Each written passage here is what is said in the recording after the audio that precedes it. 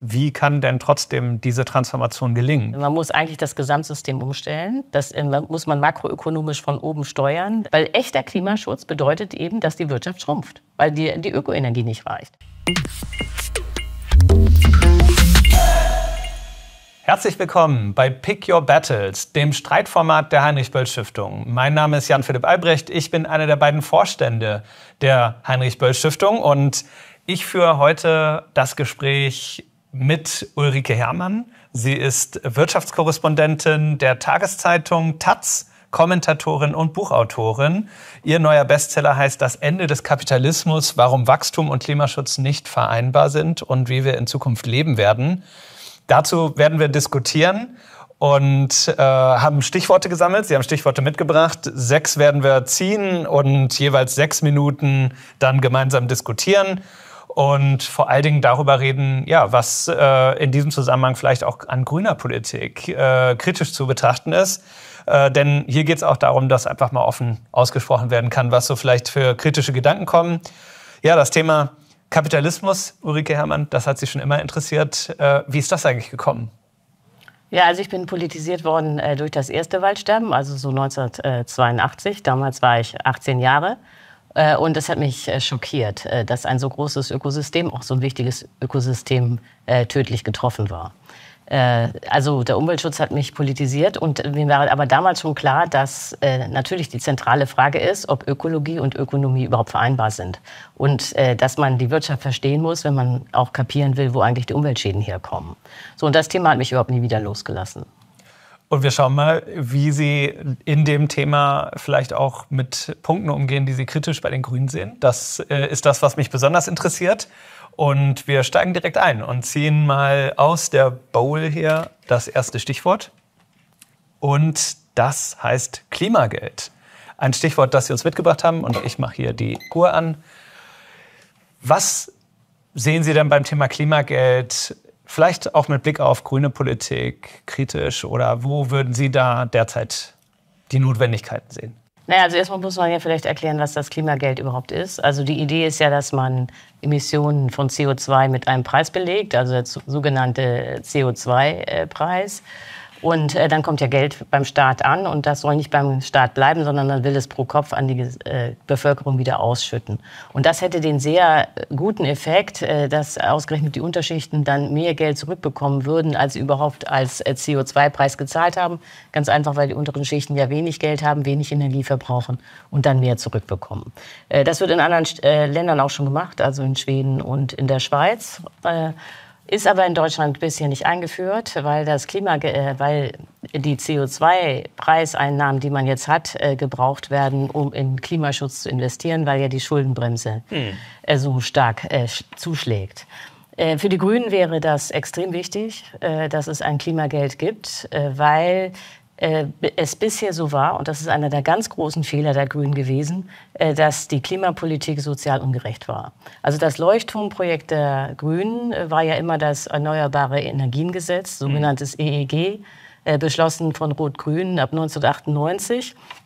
Und da war es ja so, dass man die Solarpaneele, die die Leute sich aufs Dach gesetzt haben, hat man finanziert oder subventioniert durch einen Stromaufschlag.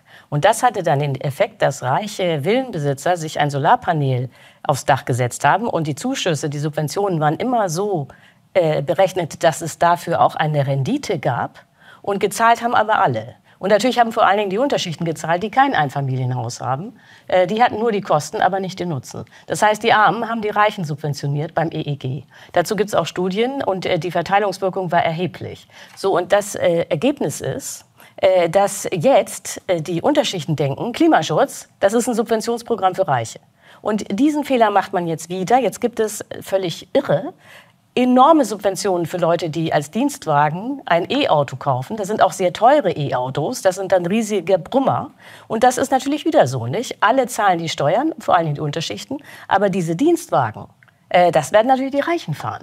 Und diese un soziale Unwucht, die bisher immer in der Klimapolitik geherrscht hat, die ist natürlich brandgefährlich. Weil dann die Unterschieden sagen, ja, Klimapolitik, das ist für die Reichen. Mhm, das ist ja gleichzeitig aber auch so, dass äh, die ärmeren Menschen natürlich umso mehr getroffen sind vom Klimawandel und von den Folgen des Klimawandels. Das erleben wir aktuell auch. Und die Frage ist ja, äh, am Ende müssen wir ja trotzdem den Ausbau der erneuerbaren Energien voranbringen und müssen dafür auch privates Kapital investieren können und so weiter. Das, das muss ja vorangehen. Also ich sehe die Zwänge der Grünen Partei, ja, aber das Ergebnis ist total zynisch. Weil es nämlich so ist, dass die Reichen sind auch diejenigen, die den Klimawandel überhaupt erzeugen. Nicht? Also dazu mal eine Zahl aus Deutschland. Das oberste eine Prozent, man könnte also sagen, die Millionäre, mhm. emittieren pro Jahr und Kopf 118 Tonnen CO2. Und die unteren Schichten, also die unteren 50 Prozent in Deutschland, die emittieren 5,8 Tonnen CO2 pro Jahr und Kopf. Das heißt, die Reichen emittieren 20 mal so viel CO2 pro Kopf wie die ärmeren 50 Prozent. Und das läuft so, ja. Erst emittieren die Reichen ganz viel CO2 und dann werden sie dafür subventioniert, dass sie irgendwie eine, sich eine Solaranlage aufs Dach setzen.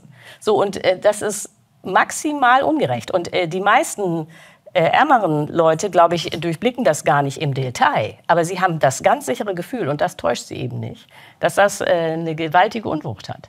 Nun ist das ja keine Idee der Grünen, sondern die Grünen wollen ja zum Beispiel Dienstwagensubventionen äh, abschaffen. Sie wollen ja auch das Klimageld umsetzen, fordern jetzt vom Finanzminister, dass dafür das, der Mechanismus erstmal geschaffen wird, damit man das dann zunehmend mit Geld auch füllen kann.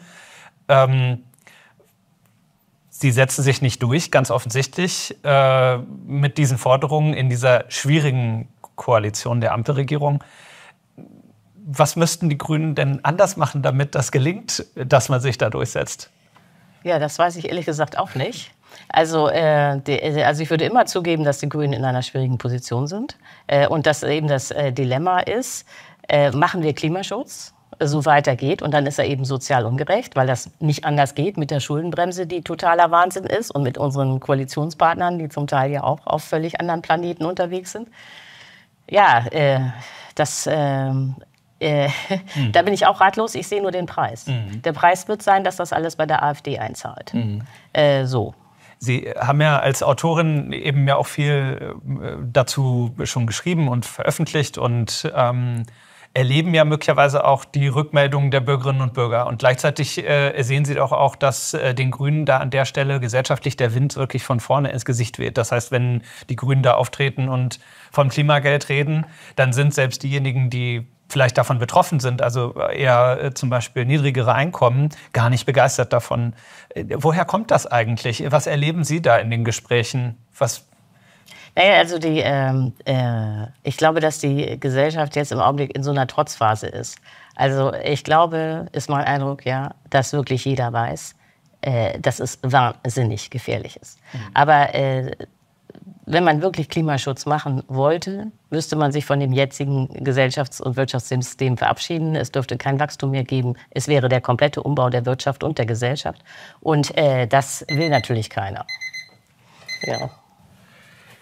Dabei belassen wir es an der Frage mal. Das Thema Klimageld als Auftakt. Wir schauen mal, was uns als nächstes bewegt bei den Stichworten. Ich ziehe mal ein weiteres raus. Und da sind wir auch im Grunde genommen gleich schon bei dem Thema, das Sie äh, eben auch schon angesprochen haben, nämlich das Thema Elektroautos. Ich denke mal, das spielt wahrscheinlich in die ähnliche Debatte rein. Und äh, vielleicht können wir ja an der Stelle auch noch mal direkt ansetzen, diese Frage, ähm, wie äh, kann man denn positive Perspektiven schaffen oder wo könnten die Grünen positive Perspektiven schaffen, die sozusagen abseits des Bildes, was Sie jetzt formuliert haben, liegt? Mit, am Beispiel vielleicht zum Beispiel Elektroautos, das Sie uns jetzt mitgebracht haben. Ja, das ist eben das Problem. Also das Elektroauto ist das Symbol für den Ansatz äh, vom grünen Wachstum. Nicht? Grünes Wachstum ist äh, die Illusion zu sagen, äh, wir, alles bleibt wie es ist. Und dann setzen wir auf technische Lösungen, um den, die Klimakrise zu bewältigen. Und das E-Auto ist dafür das perfekte Symbol, weil das E-Auto heißt, alles bleibt, wie es ist. Ja? Die deutschen Straßen, die Garagen, die Parkplätze, die deutsche Autoindustrie, das Auto selbst, alles bleibt, wie es ist. Das Einzige, was sich ändert, ist eben der Motor. Nicht? Bisher war es ein Verbrennermotor, der irgendwie Diesel und Benzin benutzt hat und dann nebenher jede Menge CO2 emittiert hat. Und künftig ist es eben eine Batterie und dann tankt man Strom. Aber alles bleibt sonst, wie es ist. Und so stellt man sich auch die grüne Chemie, den grünen Stahl, das grüne Heizen, äh, das grüne Fliegen, äh, die grüne Schifffahrt So stellt man sich das vor, technische Lösung und das Problem ist aus der Welt. Und das wird nichts. Äh, sondern wenn man sich mal überlegt, wie viel Ökoenergie ist realistisch möglich, wenn man alle Solarpaneele und alle Windräder installiert, äh, die so möglich sind, dann stellt man fest, Ökoenergie wird knapp und teuer bleiben. Sie wird nicht reichen, damit jeder mit einem privaten E-Auto rumfährt, sondern die Gesunden müssen alle Bus fahren. Das heißt, das E-Auto simuliert eine Lösung, die gar nicht da ist. Also das ist ein, aus meiner Sicht die totale Sackgasse, weil eben das, der Strom gar nicht da sein wird. Das muss ja Ökostrom sein. Und das reicht ja nicht, Ökostrom zu tanken, auch das ganze Auto muss mit Ökostrom gebaut werden und so weiter und so fort. Und das wird nichts. So. Wenn ich äh, Menschen wie zum Beispiel Hans-Josef Fell oder andere, die sich viel mit äh, erneuerbaren Energien in den letzten Jahren, Jahrzehnten beschäftigt habe, höre, dann erzählen die sehr häufig, dass das eigentlich gar nicht so viel Energie ist, die man neu äh, äh an Erneuerbaren schaffen müsste, um vieles zu ermöglichen von dem, was heute äh, auf fossiler Basis nicht nachhaltig produziert wird. Nee, das stimmt nicht. Ich weiß, dass die das machen. Aber äh, äh das, alle Studien, die ich gelesen habe, alle, ob das Agora Energiewende war, ob das äh, Fraunhofer Institut war, Wuppertal Institut war oder sonst wer. Alle diese Studien, die äh, sich äh, mit den wirtschaftlichen Folgen einer Energiewende befassen, funktionieren so. Vorne steht im, äh, ähm, im Vorwort ja, äh, grünes Wachstum ist möglich. Dann kommt eine lange Liste von technischen Möglichkeiten und irgendwelchen Suffizienzmodellen. Und dann steht hinten Einsatz, der zentral ist. Da steht immer, manchmal auch erst im Anhang, wir haben äh, die ökonomischen Folgen unserer Vorschläge nicht modelliert. Das heißt, es wird vorne ein Wachstum versprochen, das hinten gar nicht eingelöst wird. Und ich habe mal einen gefragt, einen dieser Institutsleiter, wie das eigentlich sein kann. Und der hat zu mir gesagt, das ist einfach. Die Klimaforschung ist Drittmittelforschung. Und wir sollen herausfinden, dass es grünes Wachstum gibt. Die einzige Möglichkeit herauszufinden, dass es grünes Wachstum gibt, ist, es gar nicht erst zu modellieren. Weil nämlich völlig klar ist, in dem Moment, wo man modelliert, dass es auf grünes Schrumpfen rausläuft. Denn man muss ja diese äh, Systemkosten betrachten, nicht nur Einzelsachen wie Wärmepumpe und äh, Elektroauto. Denn das ist ja ein Fehler, so zu tun, als würde die gesamte Volkswirtschaft nur aus Heizungen und aus Autos bestehen. Sondern da gibt es eben die Chemieindustrie, da gibt es das ungelöste Problem von grünem Diesel und grünem Kerosin und so weiter. Und wenn man alles äh, auf grüne Energie umstellen will, und das müssen wir, wir müssen auf Netto Null kommen, dann sind die Systemkosten extrem hoch. Nicht, nicht nur, dass äh, es sehr schwer ist, die Rohstoffe, also Öl ist ja auch ein Rohstoff, äh, grün umzustellen, dann gibt es ja auch noch das Speicherproblem. Äh, ja. das, hm. Da kommen wir vielleicht noch zu. Äh, grünes, grüner Wasserstoff ist ja auch extrem energieintensiv. Mhm.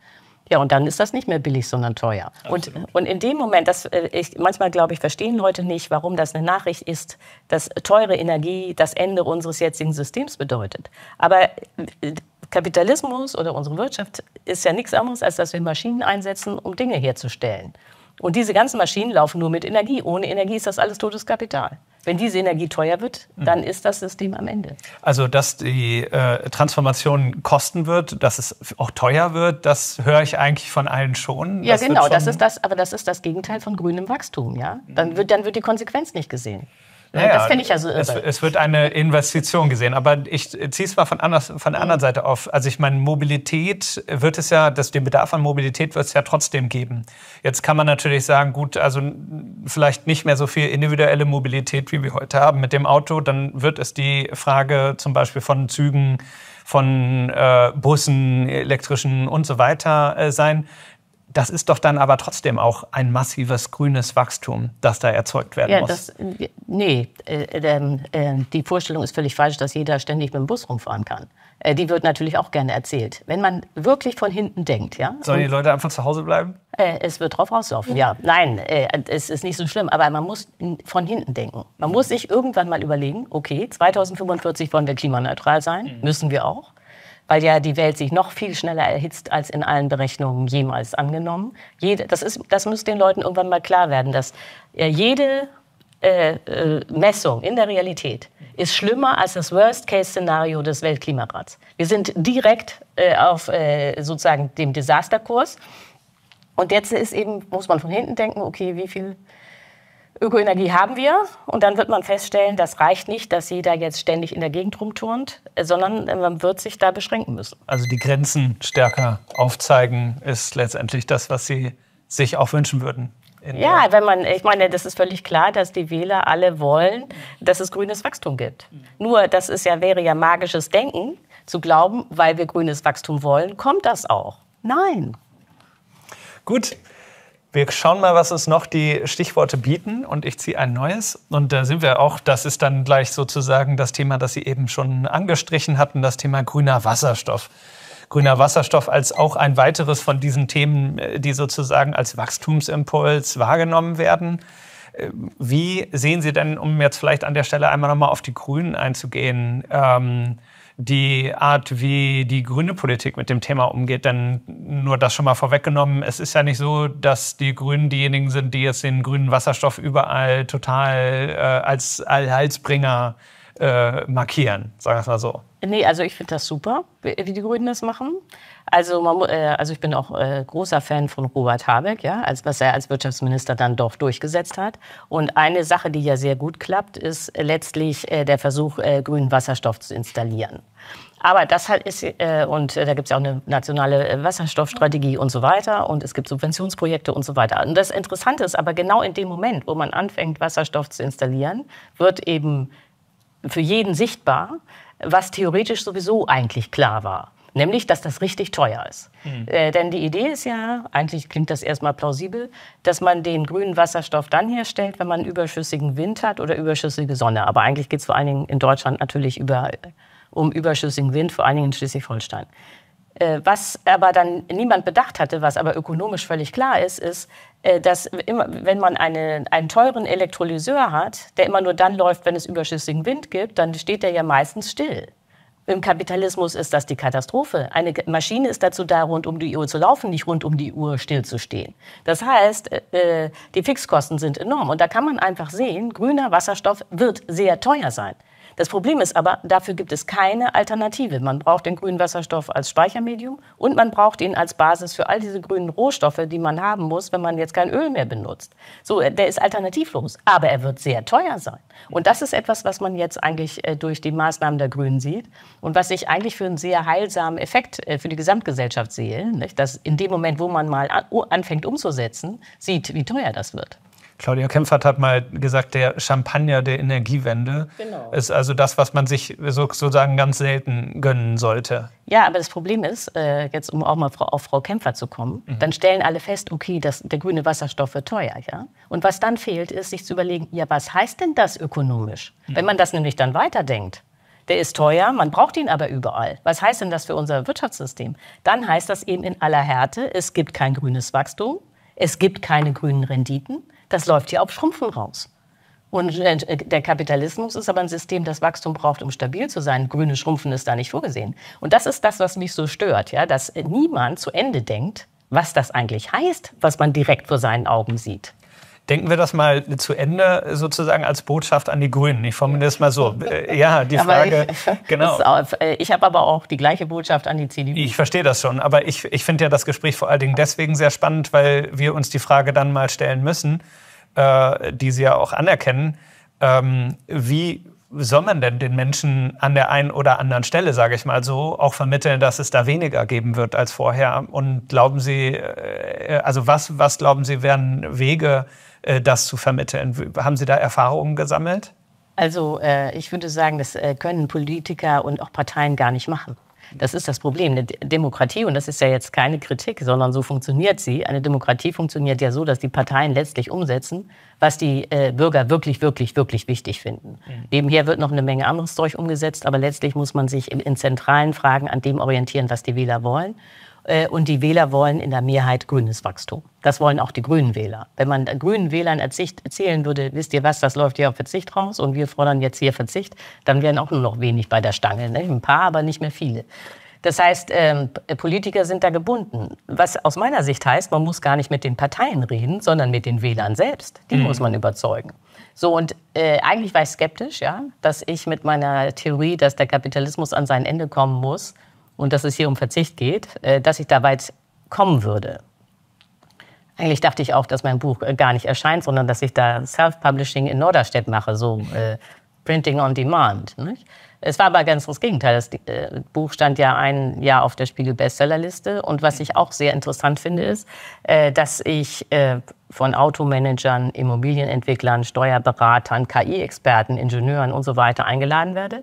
Das heißt, quer durch die gesamte Gesellschaft. Und das zeigt mir, dass so unter der Oberfläche, ja, ganz viele Leute ganz klar haben, äh, äh, dass sie jetzt mal langsam Plan B brauchen und dass die Idee wieder, das wird irgendwas mit dem grünen Wachstum und irgendwie werden wir klimaneutral 2045. Keiner kann sagen, wie das klappen soll, aber es wird irgendwie, äh, dass das gar nicht mehr funktioniert. Und äh, vielleicht noch einen letzten Satz. Ja. Also besonders äh, groß ist eigentlich der Druck tatsächlich in der Wirtschaft, denn äh, jede Investition läuft ja 30, 40 Jahre und allen ist klar, dass aber in 30 Jahren sich das Klima völlig verändert hat und dass auch der, die Klimakrise als Thema jedes Jahr präsenter wird. Das heißt, die wollen jetzt eigentlich irgendwie so eine Art sicheren Investitionskorridor und der kommt aber von nirgendwo her. So, und diese, da ist richtig große Unruhe. Gleichzeitig ist es ja auch so, dass viele Teile äh, in der Welt, viele Volkswirtschaften eigentlich das Gefühl haben, sie müssen aufholen. Ja? Oder überhaupt die Menschen auch haben das Gefühl, ähm, naja, grundsätzlich erstmal soll es meinen Kindern besser gehen als mir und so weiter. Also diese Grunderwartung, äh, dann doch äh, Wachstum zu erleben, die ist ja eng verankert. Also sehen Sie irgendein positives Alternativangebot, das man da machen kann? Gibt es so etwas wie das qualitative Wachstum im Schrumpfen? Also jetzt ist hier gleich. Ja. äh, es gibt kein qualitatives Wachstum. Äh, das ist äh, äh, ein falscher Begriff. Es gibt mehr Qualität, aber das ist nicht das gleiche wie Wachstum. Mhm. Wachstum äh, im Kapitalismus ist quantitatives Wachstum, da geht es letztlich um Mengen. Also ja. Jetzt aber nochmal zum globalen Süden, das ist ja wichtig, das ist ja eine andere Frage. Ja. Äh, das äh, CO2 entsteht in den reichen Industrieländern und in den großen Schwellenländern. Äh, also G20 ja, ist schon für 81 Prozent aller Emissionen zuständig. Die Leute in Südafrika, also meinetwegen in Malawi, die emittieren überhaupt gar kein CO2. Wenn ganz Afrika keine Einwohner mehr hätte, hätten wir das gleiche Klimaproblem wie bisher, nicht? weil ganz Afrika überhaupt nur 4 Prozent der Treibhausgase emittiert. Das heißt nichts anderes in aller Härte, die reichen Industrieländer müssen verzichten. Es geht um uns. Wir sind diejenigen, die den Schaden anrichten. Äh, ja, und wir müssen eine Lösung präsentieren. Vielen Dank äh, für das Stichwort auf jeden Fall. Wir sind vom grünen Wasserstoff gekommen. Jetzt schauen wir mal, was uns noch für ein Begriff hier äh, reinschneit. Das ist dann noch mal was anderes, nämlich das Thema grünes Regieren. Und das finde ich noch mal wirklich spannend, vielleicht von Ihnen zu hören, wenn Sie auf grünes Regieren schauen. Grünen, die Grünen haben ja nun im Bund und auch in den Ländern viel schon regiert in den letzten Jahren und Jahrzehnten. Was ist da Ihr Takeaway sozusagen? Was hat gut funktioniert, was vielleicht weniger? Oder was würden Sie sagen, ist vielleicht für grünes Regieren aktuell am wichtigsten? Also äh, ich kann da jetzt eigentlich äh, nicht meckern, muss ich jetzt mal ehrlich sagen. Also im Rahmen des Möglichen. Mhm haben die Grünen äh, schon, also in, sagen wir, oder man muss es anders sagen, also in ihren eigenen Kernbereichen, sprich Umwelt, mhm. haben die Grünen äh, schon viel gemacht und viel erreicht. Auch das EEG war ja ein weltweiter äh, Exporterfolg. Das haben dann sehr viele Staaten übernommen, äh, dass man versucht, äh, Solarpaneele und Windräder zu subventionieren. Und man muss schon sagen, dass das deutsche EEG dann weltweit diese Solarindustrie auch ermöglicht hat. Ja. Äh, also in der Umweltpolitik sind äh, äh, Grüne sehr gut. Ähm, was äh, immer der was Manko war, und das hatten wir ja vorhin schon, mhm. ist äh, die soziale Komponente. Also beim EEG nicht, war es dann so, die Armen haben da die reichen Villenbesitzer mit ihren Solarpanelen äh, subventioniert. Man muss aber sagen, dass dieses, diese Blindheit für soziale Belange noch ganz andere Schäden hervorgerufen hat. Also man muss einfach, also aus meiner Sicht, in aller Härte, ja, habe ich auch ein Buch drüber geschrieben, mache ich jetzt mal Werbung für, Deutschland ein Wirtschaftsmärchen, war die schlimmste Regierung, die wir je hatten, ausgerechnet Rot-Grün von 1998 bis 2005. Weil da drei Dinge passiert sind, die nicht hätten passieren können, dürfen. Das erste war die Steuersenkung für die Reichen.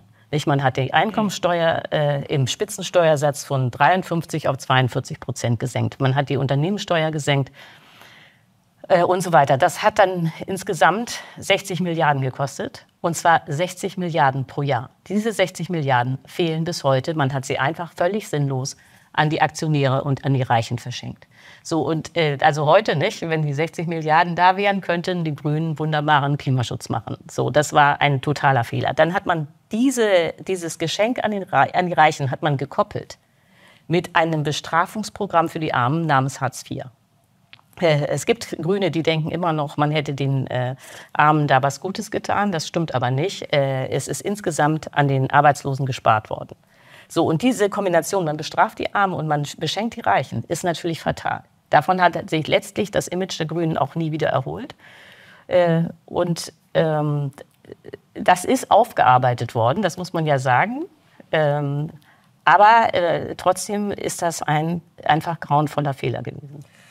Jetzt ist es aktuell natürlich so, die Grünen sind eigentlich sehr stark darum bemüht, das Thema Sozialpolitik jetzt mitzudenken. Das Thema Klimageld hatten wir eben schon, aber auch die Diskussionen, äh, die jetzt aktuell über die Entlastungen äh, für ja, Geringstverdienende immer wieder aufkommen, wo die Grünen immer wieder dran sind, oder auch die Frage, äh, Kindergrundsicherung, hm. Umgang eben mit, mit Kindern in, in Armut auch, äh, die wir haben. Wo würden Sie da sich mehr wünschen oder wo glauben Sie, dass die Grünen eigentlich noch mehr in diese Richtung liefern könnten? Also, ähm, äh, also wie gesagt, äh, die Grünen haben ja aus diesen Fehlern äh, gelernt, aber die waren echt äh, total dramatisch. Äh, was mich wundert, ist, äh, dass die Grünen nicht viel deutlicher sagen, dass der Mindestlohn stark steigen muss. Mhm. Also die Grünen äh, konzentrieren sich auf die sogenannte äh, Sekundärverteilung, also auf äh, Steuern und Sozialabgaben und so. Und das ist auch wichtig, äh, dass man versucht, äh, die, da bei den Armen dann nachzusteuern. Mhm. Aber wichtig ist ja auch die Primärverteilung, also sind die Löhne. Mhm. Und da ist am wichtigsten sind die Löhne im unteren Rand. Wenn man die hochkriegt, äh, dann sind auch gar nicht so viele sozial bedürftig. Und da müsste man, glaube ich, als Grüne äh, wirklich sagen, also 15, 16 Euro Mindestlohn, das äh, ist jetzt hier unsere Forderung. Äh, das muss man jetzt nicht äh, dem BSW überlassen. Mhm. Und da verstehe versteh ich gar nicht, warum man das nicht hört von den Grünen, hier Mindestlohn hoch. Habe ich mittlerweile schon wahrgenommen, bei 15 Euro äh, die Diskussion, die wird ja geführt aktuell, aber ist auf jeden Fall was, wo äh, die Grünen äh, stärker dran sein können, wenn es vor allen Dingen darum geht, dass äh, also auch ähm, natürlich viele Fachkräfte gebraucht werden. Das ist ja auch ein Thema, das äh, für diese ganze Situation der Transformation eine Riesenrolle spielt. Ähm, aber ich würde das äh, wirklich als Gerechtigkeitsfrage framen, mhm. nicht über die Fachkräfte.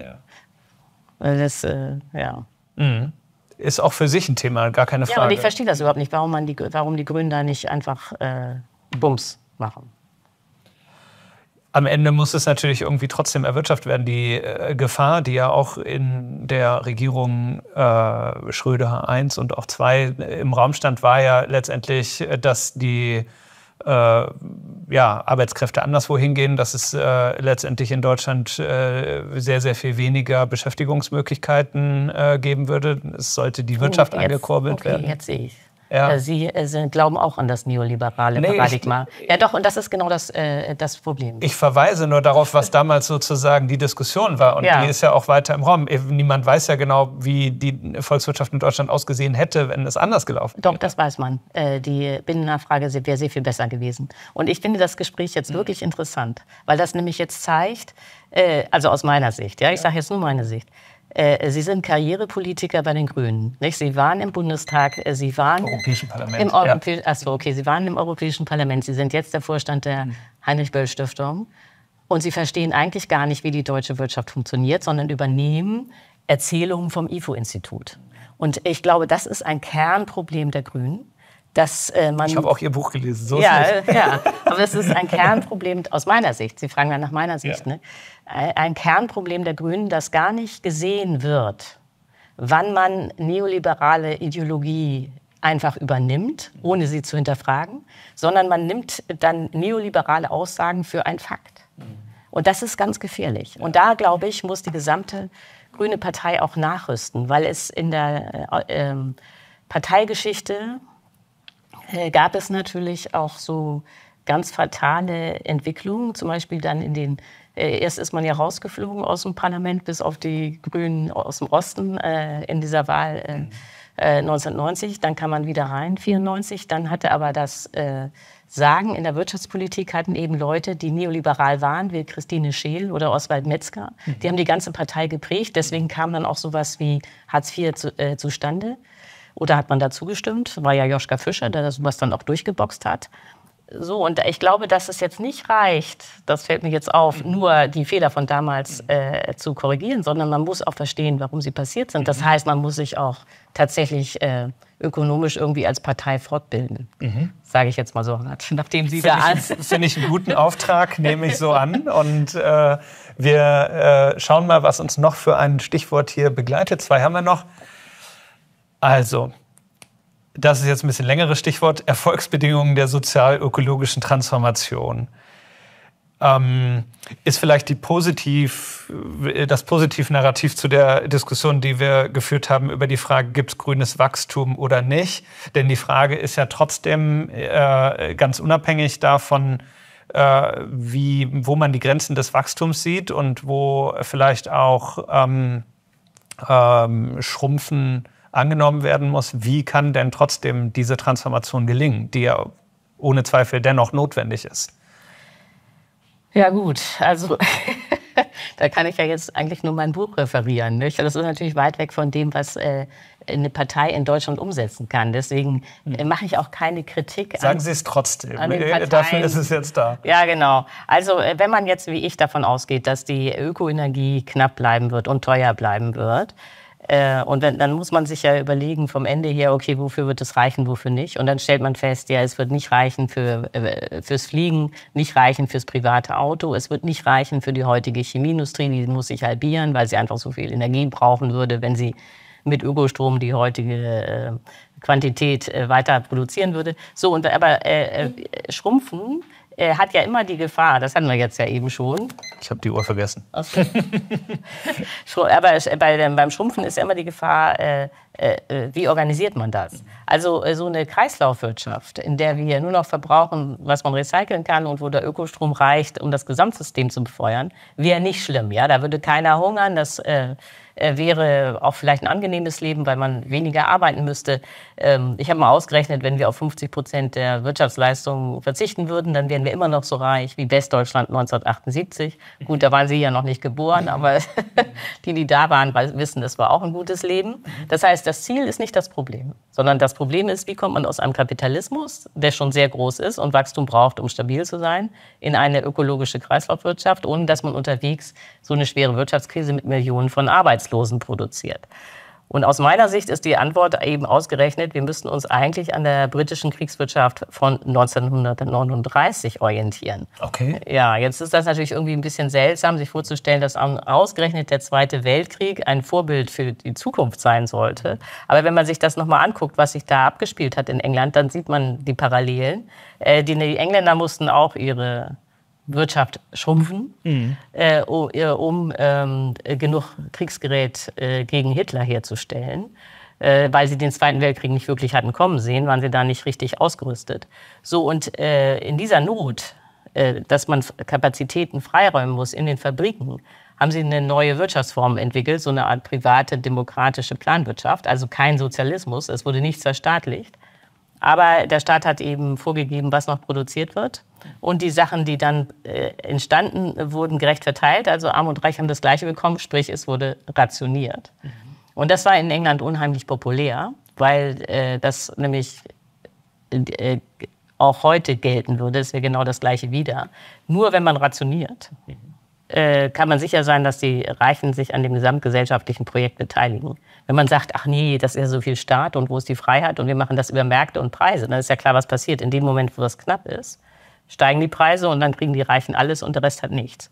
So, und deswegen war die Rationierung in Großbritannien sehr populär. Und ich glaube, das wird auch unsere Zukunft sein. Also so eine Mischung aus staatlicher Planung und Rationierung. Mhm. Und zwar, das ist aus meiner Sicht wichtig, in jedem Fall. Also die Idee, äh, ja, und jetzt ist es doch eigentlich schön und wir machen weiter wie bisher, das wird nicht äh, klappen, weil ja das Klimakaos dann so groß wird, dass man am Ende auch staatliche Steuerung plus Rationierung braucht, äh, damit alle durchkommen. Also die, sozusagen, wir stehen hier am Ende einer Epoche sowieso. Und wenn man feststellt, okay, das kommt ja sowieso, staatliche Planung plus Rationierung, wäre es natürlich schlauer, äh, rechtzeitig, geordnet, friedlich auszusteigen. Und auch demokratisch? Ja, Churchill war kein Diktator. Mhm. Also äh, natürlich ist das ein Unterschied, ob ich das in einer Krisensituation äh, oder in einer Kriegssituation äh, mache mhm. oder sozusagen im Grunde genommen ein ganzes gesellschaftliches System darauf ausrichte, im ja, Notfallmodus dann zu sein. Und ja, ja, klar. Also die Leute denken immer noch, äh, wir sind hier im Überfluss. Ja, das, äh, das kommt den Leuten natürlich komisch vor, zu sagen, ja, wisst ihr was, jetzt müssen wir verzichten, wenn doch äh, jeder ein Handy, Auto und ein schönes Haus hat. Nicht jeder, aber viele. Aber wir sind schon im Notfallmodus. Mhm. Ich, ich meine, letztes Jahr ist die Welttemperatur um 0,2 Grad gestiegen. Wenn das so weitergeht, wird es ja wahrscheinlich nicht. Aber wenn das so weiterginge, hätten wir in fünf Jahren plus ein Grad. Mhm. Wo soll denn das hinführen? Also das Interessante ist, wir sind schon in der totalen Krise. Mhm.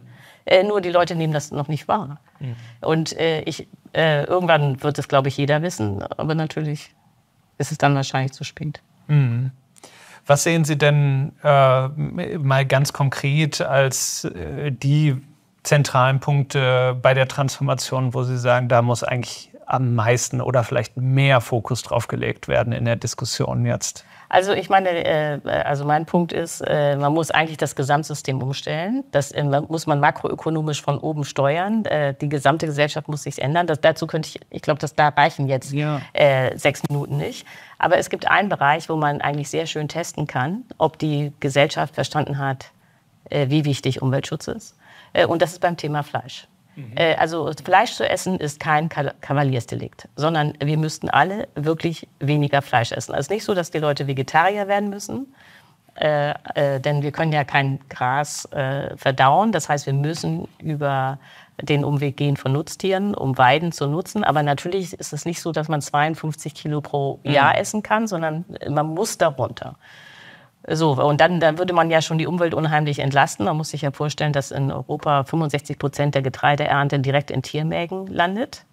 Äh, es wäre gesünder, die Leute hätten weniger Diabetes, weniger Herzinfarkte, weniger Krebs, weniger Entzündung. Es wäre kein schlechtes Leben, weniger Fleisch zu essen und es würde die Umwelt enorm entlasten. Und solange Leute noch nicht mal das kapieren, nicht, dass sie nicht so viel Fleisch essen dürfen, ist ja klar, sie kapieren überhaupt nicht, dass sie das letzte Glied in einer sehr langen Nahrungskette sind und dass wir gerade mit dem Klimawandel dabei sind, die gesamte Nahrungskette zu zerstören. Wie kapieren Sie es denn? Da sind wir wieder bei dem Punkt. Ich meine, die Grünen haben ja mit dem Veggie Day da so eine traumatische Erfahrung, obwohl das ja eigentlich überhaupt keine weitgehende Forderung am Ende, war, ein, einmal in der Woche sozusagen in öffentlichen Kantinen auch äh, äh vegetarische Gerichte anzubieten. Äh, das ist mittlerweile jetzt schon über zehn Jahre her. Seitdem hat die Diskussion eigentlich keinen neuen Punkt gefunden, an dem sie ansetzen kann. Haben Sie mal Momente erlebt, an denen das gut funktioniert hat, dass die Leute es kapieren, das Thema? Also, äh, äh, ich bin, äh, wie gesagt, da bin ich durchaus ratlos, ja. Äh, also die, ähm, manchmal fragen mich die Leute auch, also oder anders gesagt, wenn ich jetzt eine Partei gründen würde, ja, ja eine Partei für den grünen Verzicht oder das grüne Schrumpfen oder so, wäre ja klar, dass ich 0,001 Prozent der Stimmen kriege, nämlich gar keinen. Also ich habe vollstes Verständnis, wenn die Grünen das Thema Fleisch jetzt nicht äh, äh, unglaublich äh, aktiv angehen. Ähm, und dann fragen mich manchmal Leute, ja, wenn sie dann auch feststellen, ja, es gibt im Augenblick ja keine politischen Mehrheiten für das, was ich vorschlage, dann mhm. fragen die mich immer, ja, warum haben Sie denn das Buch überhaupt geschrieben? so, und äh, kann ich auch verstehen, die Frage. Aber ich glaube, man muss äh, auch in der Politik äh, und im gesamtgesellschaftlichen Gespräch, muss man wirklich unterscheiden zwischen, äh, was ist politisch durchsetzbar, weil es Mehrheiten gibt, mhm und was sagt die Analyse. Mhm. Denn wenn es so ist, dass man nur denken darf, wofür es Mehrheiten gibt, muss man ja gar nicht denken, denn es wird schon gedacht, nämlich von der Mehrheit. Das heißt, und ich wollte jetzt eigentlich nur eine Analyse machen. Was klappt, was klappt nicht. Absolut. Das, dafür ist der Raum hier auch da. Herzlichen Dank dafür. Wir haben noch ein Stichwort, das wir ziehen und wo wir noch mal reinschauen wollen. Und das ist das Thema CO2-Preise. Und das finde ich auch noch mal spannend vielleicht in dem Zusammenhang, denn ähm, wenn man die Leute nicht überzeugt, sozusagen, dass Fleischverzicht zum Beispiel gesund ist, dass äh, wir damit sehr, sehr viele Probleme lösen, dann überzeugt man sie möglicherweise mit dem Preis. Gleichzeitig waren wir auch schon bei dem Thema, ist die Frage, was bedeutet das dann eigentlich äh, mit Blick eben auf den Verzicht für viele Menschen da draußen, weil die Dinge teurer werden, wenn der CO2-Preis so durchschlägt, wie er ähm, zum Beispiel jetzt beim Emissionshandel äh, absehbar ist, dass also hohe Preise letztendlich fossile äh, Kraftstoffe oder ja, CO2-Ausstoß letztendlich so teuer wird, dass man es nicht mehr leisten kann. Ja, aus meiner Sicht ist der CO2-Preis äh, eine völlige Fehlentwicklung weil, äh, und wird auch nie funktionieren. Weil äh, der CO2-Preis, also der, äh, der CO2-Preis geht implizit davon aus, äh, dass es grünes Wachstum gibt, dass technische Lösungen möglich sind. Also die Idee ist, äh, wenn der CO2-Preis äh, steigt, dann lohnt es sich immer mehr auf grüne Energie umzusteigen. Und diese Energie, und das ist dann der wesentliche Punkt, mhm. diese grüne Energie wird es auch geben, ja, weil in dem Moment, wo der Preis steigt, wird sich die Technik lohnen und fertig. Und was bei diesem ganzen Ansatz völlig aus dem Blick gerät, ist, sind technische und physische alle Grenzen. Also die Ökonomen mit ihrem CO2-Preis tun so, als wären sie Gott. Ja, das meine ich total ernst. Mhm. Äh, Gott hat die Welt in sieben Tagen erschaffen und der, äh, der Ökonom stellt sich vor, ich muss nur einen CO2-Preis machen und schon dreht sich die ganze Welt in Richtung meinen CO2-Preis. Mhm. Und äh, äh, das ist aber nicht so, sondern äh, Ökoenergie wird eben extrem teuer bleiben in vielen Bereichen. Das heißt, die Unternehmen stellen dann fest, CO2, äh, also fossile mhm. Energie wird immer teurer, weil es ja diesen CO2-Preis gibt. Äh, grüne Energie steht aber nicht zur Verfügung, jedenfalls nicht billiger. Äh, und dann klappen sie eben zusammen. Also äh, die, äh, sie können nicht mehr billig produzieren und die Konsumenten können sich das nicht mehr billig kaufen. Und dann hat man einen ungesteuerten ökonomischen Zusammenbruch. Das wird natürlich nicht passieren, sondern die politische, der politische Ausweg ist, äh, bin ich mir ganz sicher, dass der kommt, dass man den Emissionshandel aussetzt oder dass man so viele Zertifikate in Umlauf bringt, dass es dann nicht steigt oder weiß der Himmel, was da passiert. Aber der CO2-Preis wird nicht steigen auf ein Niveau, wo man tatsächlich Klimaschutz macht. Weil echter Klimaschutz bedeutet eben, dass die Wirtschaft schrumpft, weil die, die Ökoenergie nicht reicht. So, und deswegen ist der CO2-Preis sozusagen, ja, wie soll man sagen, so eine Art Schminke ne, auf der Leiche.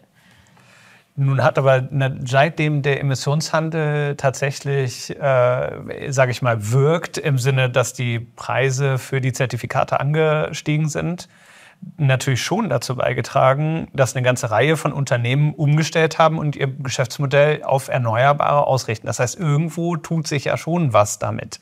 Äh, die Frage ist, ob das am Ende ausreicht. Das verstehe ich aus Ihren Ausführungen. Aber es ist nicht so, dass er äh, da ohne Wirkung bleibt, der Emissionshandel und möglicherweise dann auch die weitere CO2-Bepreisung.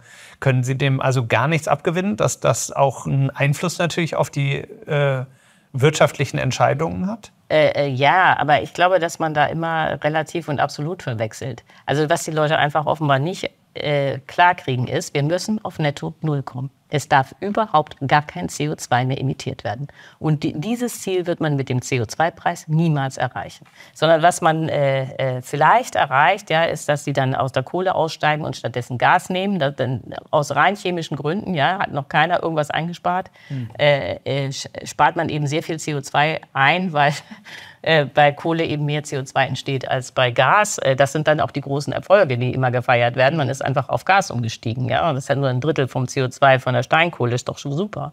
Aber, äh, oder von der Braunkohle. Und, äh, aber eigentlich hat man ja nichts gemacht.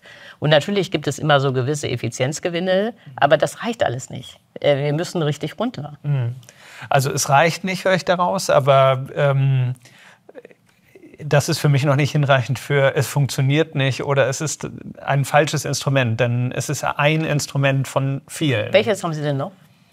Ja, ich, ich sage ja jetzt noch nichts darüber, was da für andere Instrumente sind, aber also ich glaube, den Eindruck zu erwecken, dass die CO2-Bepreisung oder der Emissionshandel jetzt alles ist als Antwort auf die Reduktion von CO2, den sehe ich auch nicht unbedingt in der Politik, diesen Eindruck. Natürlich äh, gibt es unter den Unternehmen und äh, der Unternehmenslobby viele, die sagen, ja, dann wird sich das alles schon erledigen von alleine. Aber ich glaube, dass die allermeisten sehen, dass es weitere Maßnahmen braucht. Infrastrukturinvestitionen in neue Infrastruktur zum Beispiel oder eben auch das Einsparen äh, von äh, CO2 äh, durch Regulierung. Das ist ja etwas, was durchaus auch passiert, also Verbote. Welche denn jetzt? Also auch Kohleverbot. Ja? Zum Beispiel, genau. Ja. ja, aber ich meine, das äh, will ich auch alles gar nicht kleinreden. Äh, nur äh, es bleibt dabei äh, äh, und dann wird vielleicht auch so klar, wo äh, die Herausforderung liegt. wir wären klimaneutral als Gesellschaft, wenn jeder weltweit, das würde dann aber auch für die Deutschen gelten, nur eine Tonne CO2 pro Jahr und Kopf emittiert. Heute sind die Deutschen, je nachdem, wie man das rechnet, aber wenn man die Importe auch einrechnet, bei 11 bis 12 Tonnen. Mhm. Und eins kann ich Ihnen sagen, mit einer CO2-Preisung und auch mit der Regulierung, die es so gibt, ja, werden wir nicht von 12 Tonnen auf eine Tonne kommen. Das müssen wir aber erreichen. Denn ich glaube, was auch vielen Leuten nicht klar ist, ist ja, dass äh, CO2 wie eine Müllhalde funktioniert. Jedes CO2-Molekül, das wir ausstoßen, das bleibt im System ungefähr 1000 Jahre. Hm. Das verschwindet nicht wieder, das addiert sich. Und genau deswegen kann man auch nicht sagen, ja, wir haben noch einen kleinen Erfolg, jetzt machen wir nicht mehr 12 Tonnen, sondern sagen wir mal 10 Tonnen, ja. CO2 pro Jahr und Kopf. Äh, das äh, würde die Katastrophe dann ja, keine Ahnung, vielleicht um ein Jahr ver äh, verzögern. Also wir müssen richtig runter. Und äh, das ist, äh, glaube ich, in der Tat bei den vielen Leuten noch gar nicht angekommen. Woran würden Sie denn feststellen, dass ähm, die Politik insgesamt, die Gesellschaft oder jetzt im Speziellen die Grünen ihren Vorstellungen von Radikalität in dieser Sache oder äh, ihren Vorstellungen vom Weg her äh, entsprechen würde. Ja, ich glaube, dass, äh, was wir vorhin schon hatten, also wenn die Bevölkerung äh, mehrheitlich anfangen würde, wenig Fleisch zu essen, dann wäre das das Signal an die äh, Politik, äh, dass es wirklich verstanden wurde. Mhm. Okay. Vielen Dank, Ulrike Herrmann, für das Gespräch. Das hat äh, großen Spaß gemacht. Und ich nehme da auch vieles von mit. Das war die nächste Folge Pick Your Battles. Vielen Dank auch an Sie und euch alle für das Zuschauen in dieser Folge und gerne wieder einschalten beim nächsten Mal.